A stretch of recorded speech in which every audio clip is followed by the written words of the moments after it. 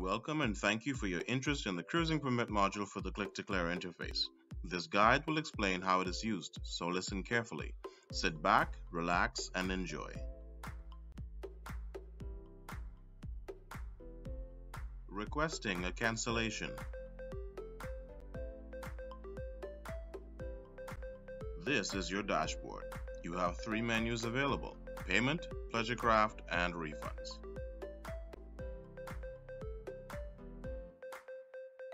Under the Pleasurecraft module, choose Request Cancellation to begin canceling your voyage.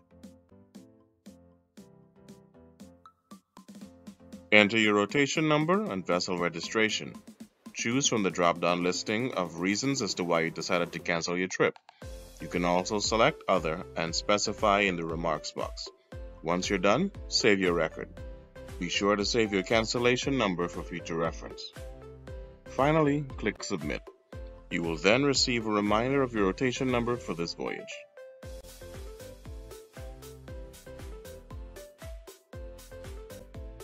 Next, apply for a refund for the funds paid. Follow our YouTube tutorial on refunds to start the process. Be sure to like, share, and subscribe to our channel for more updates.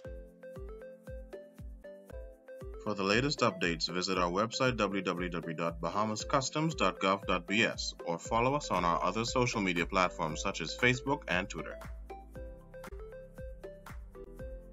I hope you enjoyed this guide and that it proves useful to you. Thank you for your time and we welcome you to the islands of the Bahamas in advance. Happy cruising!